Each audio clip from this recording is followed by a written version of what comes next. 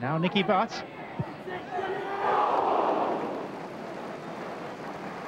It's as close as either side have come.